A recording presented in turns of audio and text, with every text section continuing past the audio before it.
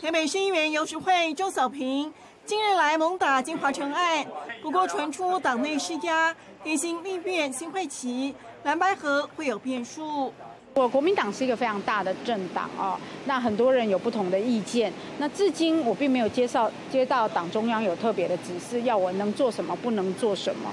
所以我就把其他长辈的意见当做是个人的好意的善意的提醒。傅昆萁有找你说不要再打金华城的案子，他跟我讲的啊，就就那个马内他母亲的告别式有没有？之前其实也有找朋友跟我讲了，大概。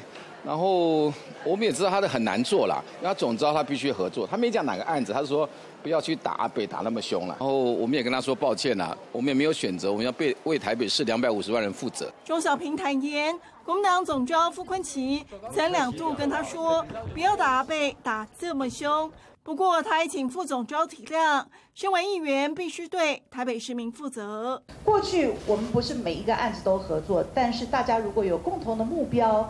共同的想法，我想一定会合作。在野党站在帮人民监督的立场上，当然一定会做紧密的合作。这是不容许有任何的交换，也不会有任何体谅的问题。国民党哎，现在两手策略啊，一边把柯文哲骂到体无完肤，那另外一边还假情假意啊配合柯文哲说这是执政党在政治斗争。他国民党其实另有所图啦，国民党图的。是希望呃，民众党的八席能够在未来这三年半都还是跟着他国民党一起团进团出。不过，民进党立委王世坚看不下去，很酸国民党玩两手策略，其实另有所图，呼吁民众党要看清楚。民新闻做不到。